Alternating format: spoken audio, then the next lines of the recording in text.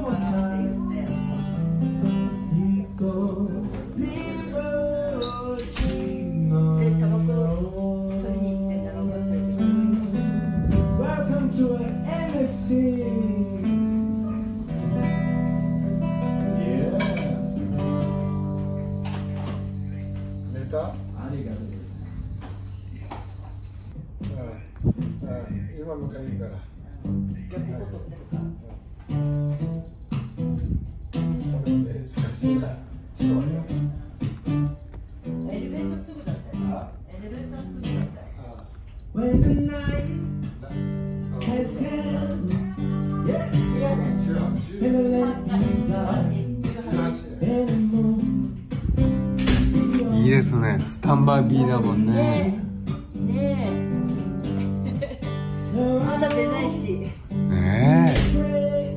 人を構ってる場合じゃないねね自分が酔いしれて僕も外寄ってるもんねスタンバイ B Everybody sing with me. ビート用の曲が流れたりねで坂本九が流れたりここでね見れるんですもんね.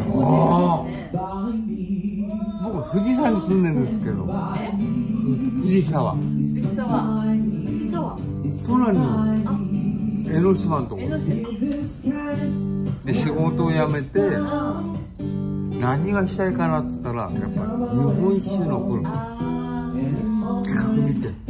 えちなみにおいくつなんですか？古希え？古希コキ？おお若いですね。えあなたは古着若いですよ本当に。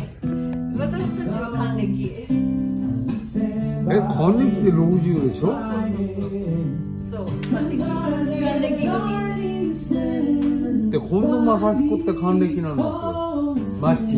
あ知ってる？マッチないです。近藤正彦あ近藤正彦ああそうそう。近藤正彦は一個下。あいつ俺の教え子なの？よあそうなんですくね分